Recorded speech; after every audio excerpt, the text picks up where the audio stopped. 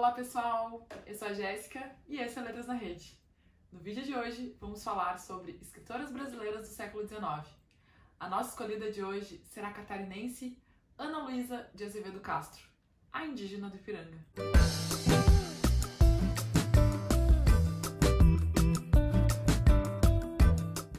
A Ana Castro foi uma das primeiras mulheres a publicar um romance no Brasil. Ela divide esse posto com a Maria Firmina dos Reis, que eu já fiz um vídeo aqui no canal falando a respeito. Infelizmente, como muitas escritoras do século XIX, nós sabemos muito pouco sobre a vida dessa escritora tão importante.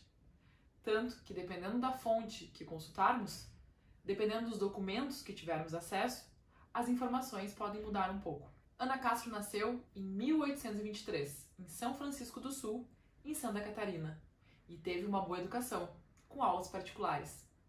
Não há informações sobre a sua família ou sobre a sua infância. Ana se mudou para o Rio de Janeiro, casou-se e abriu uma escola de instrução primária e humanidades para meninas.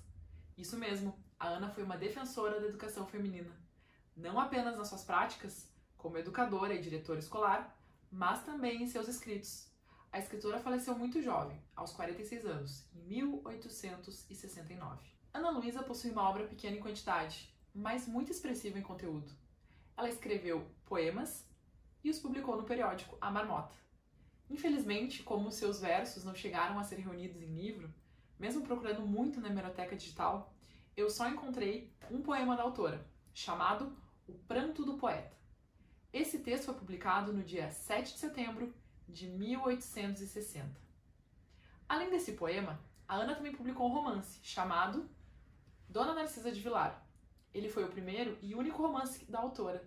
E como outras obras do período, foi publicado em 1858 sob a forma de folhetins, também no periódico A Marmota, e no ano seguinte, um livro. Ana assinava seus escritos com pseudônimo, aquela espécie de apelido que as mulheres no século XVIII e XIX usavam para esconder a sua verdadeira identidade. O pseudônimo usado por ela era Indígena do Ipiranga. Olha que interessante, ela não escolheu um pseudônimo masculino, como era de costume na época, e ela ainda escolheu um nome feminino e com referência aos indígenas. Essa escolha tem uma relação muito forte com as tendências do romantismo da época. Os escritores, para valorizar o Brasil, escreviam livros em que apareciam nas histórias personagens indígenas como grandes heróis. A Ana, além de ter escrito um livro indianista, Dona Narcisa de Vilar, ainda usa um pseudônimo homenageando os indígenas. Agora vamos falar de Dona Narcisa de Vilar, este livro tão importante. No prólogo do romance, a narradora explica que a história contada por ela é uma lenda que escutou quando ainda era criança, de uma indígena chamada Mãe Micaela. Essa narradora comenta que, como ela era muito curiosa, desejava saber sobre a história por trás da temida Ilha do Mel. A indígena desejava evitar a narrativa, mas com a insistência e a chantagem da criança, não teve escolha e acabou contando sobre a lenda de Dona Narcisa de Vilar. Muito emocionada com a trágica história de amor da portuguesa, esta ouvinte, tão atenta, resolveu escrever tempos depois a narrativa, procurando ao máximo aproximar-se do discurso oral de Mãe Micaela.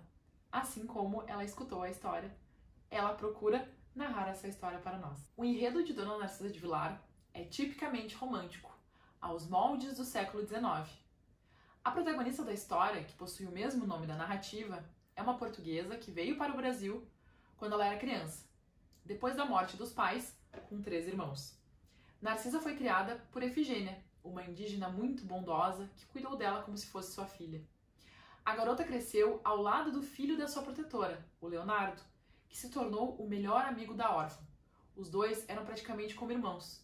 A infância de ambos foi regada a brincadeiras e a lições religiosas que a portuguesa tecia ao lado do seu companheiro. Isso ocorre até que um dia os irmãos de Narcisa aparecem com a decisão de que ela se casaria com o coronel Pedro Paulo, um rico nobre português.